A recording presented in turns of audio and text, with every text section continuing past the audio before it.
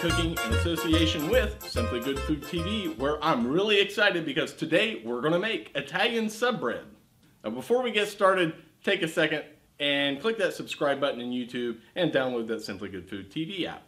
Every couple weekends or so, our kids find their way to the house and our grandkids as well, and we try to do something a little bit different each weekend. This weekend I made up my mind we were going to do uh, subs you know, like a grilled sub sandwich or an Italian sub sandwich. And I thought to myself, anybody can run down to the store and buy some, uh, you know, just some bread to, to make subs on. I'm going to try to make the bread myself. Now, I can take no credit for this Italian sub loaf. It's a, a recipe I found online. I didn't make any changes. I'd never made it before. It did turn out great, but I get no credit for the recipe but I, you know, I wanted to show how I made this bread because it, was really good. It had a really good chew to it. Just something a little bit different than what you would buy at your local grocer. So let's just get started and take a look at our ingredients. Now we're going to take a look at the ingredients for our Italian sub rolls. This does use an overnight starter. In our overnight starter, we use 3 quarter cups of unbleached all-purpose flour, uh, half a cup of lukewarm water, and one eighth of a teaspoon of the active dry yeast. Not the instant yeast, but the active dry yeast. Our other ingredients are two thirds cup of water, and in that water I have dissolved two teaspoons of the instant yeast. Uh, we gotta let that. We had to let that set for about 10 minutes. It's just about ready. We're also going to add two and three quarter cups of unbleached all-purpose flour and one and a quarter teaspoon of salt. Now I am going to take my salt and just kind of mix it around in my flour to get it a little bit distributed because you know you don't want to be biting into a piece of bread and get a wonderful chunk of salt. Wouldn't that be wonderful? All right, our overnight starter. We're just going to go ahead and kind of scrape that down into our water. I've got my dough hook, or not my dough hook, I have my paddle on my stand mixer here. I'll make sure I get all of that starter. It, you know, when you use an overnight starter, it gives that bread a little more bite, it gives it some more body. You can really smell the, the yeast coming out. And I'm giving up on that little wad of dough that's on there. All right, let's lock her in. Let's go ahead and get this mixing up. What we're wanting to do is just kind of break up that overnight starter a little bit. Looks like it's pretty good. So now what we're going to do is slowly mix in our flour. Trying not to get it all over the place, which I'm being rather unsuccessful at. We're going to let that come together for a minute or two here. And then we'll switch to our dough hook. And here my mixer's starting to slow down just a little bit. It's time to go to the dough hook. Don't you love it when you've kind of dumped flour in and you put your KitchenAid mixer up and flour goes everywhere? You know what? That's all right. Part of the fun of making the uh, making bread is making a little bit of a mess.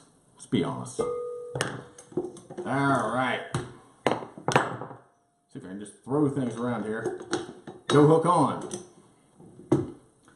Lock her in. And we'll probably let that go, we'll say two minutes. I'm probably going to bump it up to medium speed for just maybe 30 seconds and then down to a low speed. I'm going to check this real quick. It's looking a little bit too dry, and it is. That's going to be a very, very dry dough.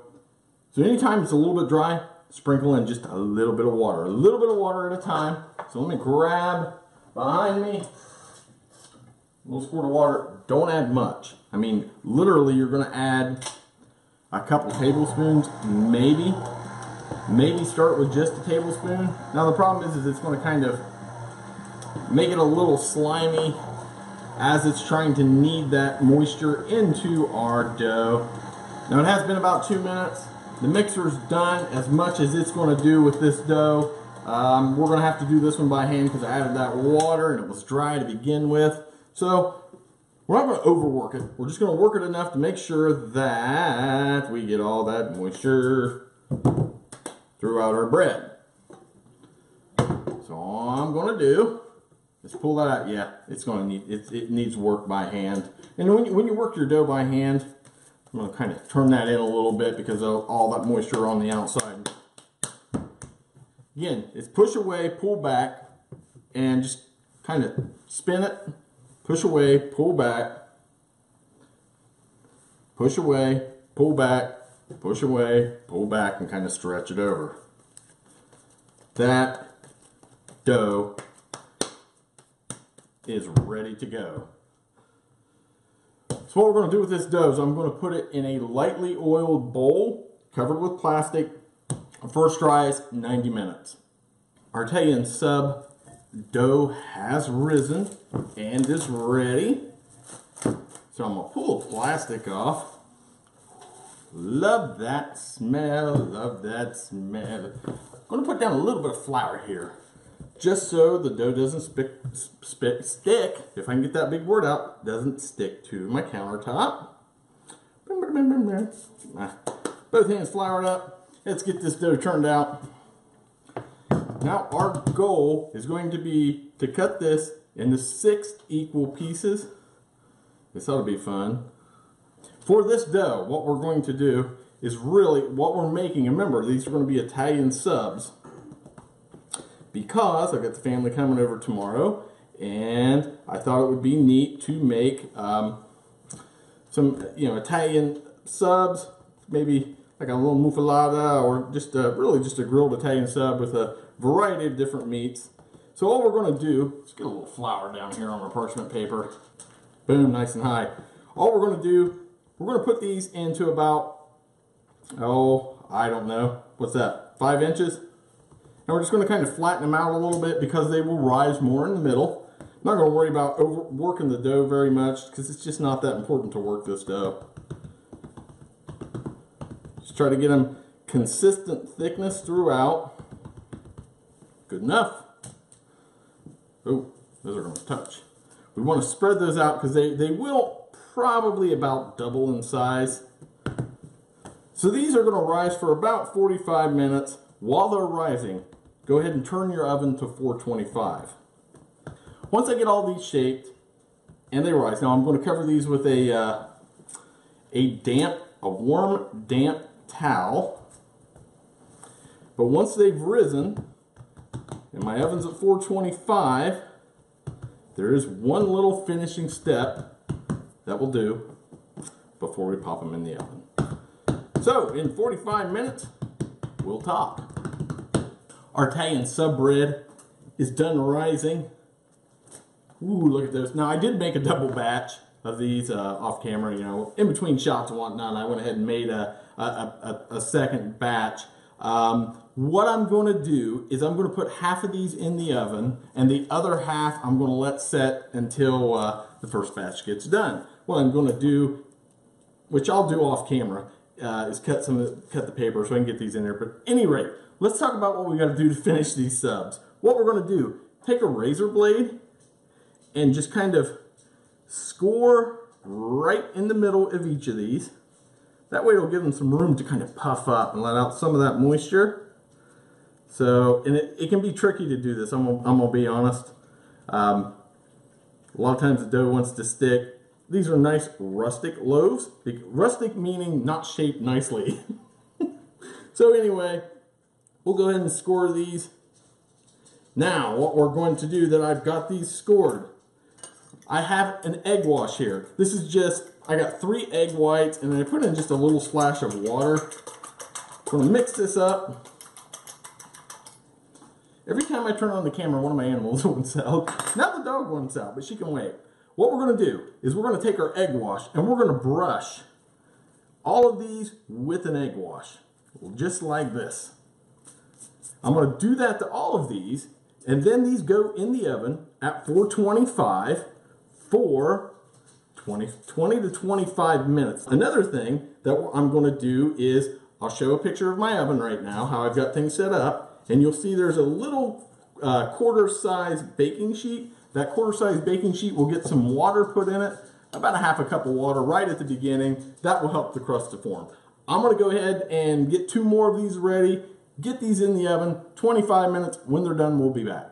I just checked my Italian subs. There's a few of them that are ready to come out of the oven and a few I got to adjust. I'm going to grab the ones that are ready to come out. They came out really good. Let me pull the paper out. you know, the dough sticks so much to that parchment paper, but boy, it just comes off so easy once it's been baked. Now, there's a couple others that are looking really good. I got six in there on the stone, so I'm going to adjust the other two towards the back. So here's the other two that were ready to come out. There's two more that were kind of towards the front of the oven that aren't quite ready yet. But those are a thing of beauty. Look at those. I can't believe that I actually made these. They're beautiful. Um, a couple of them a little misshapen. We'll call that rustic. I'm going to let these cool for a few minutes and we're going to sacrifice the one that looks like a boomerang to see how these turned out. My Italian sub bread has cooled just enough so we can give it a taste I am, oh, I love, you hear that nice crust on it? Oh my gosh. I'm just going to cut it crossways, kind of like I would do a ciabatta bread. Um, nice and airy. You can see we've got some good bubbles. I really like the way that bread turned out. I'm really happy with that. Tomorrow we're going to be making some nice Italian sandwiches with this. Uh, it's going to be good. Now I'm going to butter up two little pieces because my beautiful wife is sitting over there working on her computer and I'm sure she'd love a bite. Let's give this a try. See how it turns out. Mmm. Mmm, it's good. That egg wash on top gives it a quick little crunch.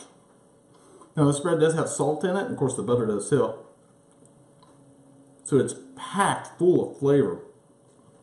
This is going to go over really, really well tomorrow. I like this. Mm, mm, mm, so I highly recommend this. Real easy to do. Um, you know, and if you're having guests over and you know something special, it's so much better to do this than to just go down to your local supermarket and buy some, you know, off the shelf Italian sub buns. Now, if you have a, a good baker uh, in town where you get those, go for it. But this is just something a little special.